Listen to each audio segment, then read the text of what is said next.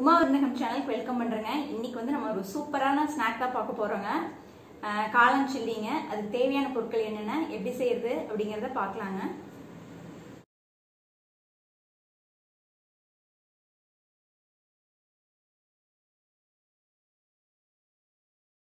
இப்போ வந்து காளான் சில்லிக்கு என்னென்ன தேவையான பொருட்கள்னு பார்த்தீங்கன்னா நான் வந்து சிப்பி காளான் தான் எடுத்துருக்கேங்க. ஒரு ரெண்டு பேக்கெட் எடுத்திருக்கேங்க.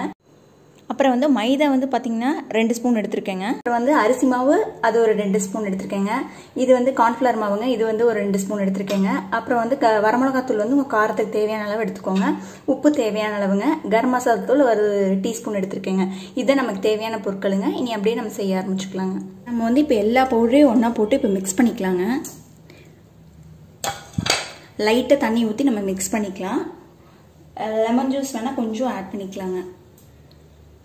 ஒரு ஹாஃப் லெமன் மட்டும் ஆட் பண்ணிவிட்டு தண்ணி ஊற்றி நல்லா மிக்ஸ் பண்ணிக்கோங்க.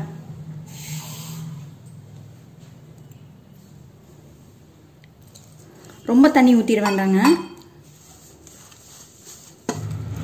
நல்லா கட்டி இல்லாமல் மிக்ஸ் பண்ணிக்கோங்க. அதுக்கப்புறம் நம்ம வந்து காளான் வந்து உள்ளே போட்டுடலாம். இப்போ எல்லா பவுடரும் லைட்டாக தண்ணி ஊற்றி மிக்ஸ் பண்ணியாச்சுங்க. இனி வந்து நம்ம காளான் வந்து உள்ளே போட்டுக்கலாங்க.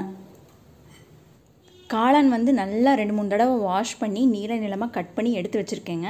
உங்களுக்கு வேணும்னா நீங்கள் இஞ்சி பூண்டு பேஸ்ட் போட்டுக்கோங்க. நான் வந்து இப்போ போடலைங்க. நல்லா மிக்ஸ் பண்ணி வச்சாச்சுங்க. நீங்கள் உடனே பொரிக்கிறனாலும் பொரிக்கலாம் இல்லை கொஞ்ச நேரம் ஊற விட்டு அதுக்கப்புறம் பொரிக்கிறனாலும் பொரிக்கலாங்க என்ன காஞ்சிருச்சுங்க? நம்ம கேளான் வந்து நீ போட்டுடலாம்.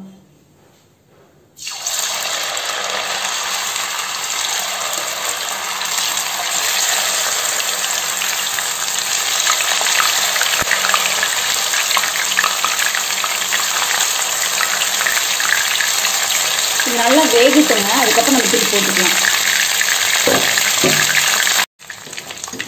இப்போ இந்த சைடு நல்லா வெந்துருச்சுங்க நம்ம திருப்பி போட்டுக்கலாம். திருப்பி போட்டு நல்லா முறு முறுன்னு ஆகிற வரைக்கும் வேக வச்சு நம்ம எடுத்துக்கலாங்க. நம்ம காளான் சில்லி ரெடி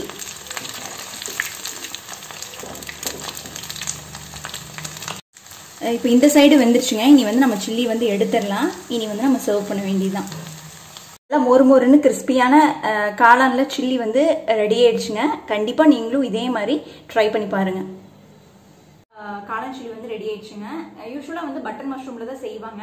நம்ம வந்து இன்னைக்கு வந்து சிப்பி காளானில் செஞ்சுருக்கோங்க. ரொம்ப டேஸ்ட் அருமையாக வந்திருக்குங்க. செஞ்சு பார்த்துட்டு எனக்கு கமெண்ட் பண்ணுங்கள் பிடிச்சிருந்ததுன்னா உமா விருந்தகம் சேனலுக்கு லைக் அண்ட் சப்ஸ்கிரைப் பண்ணுங்கள் தேங்க்யூ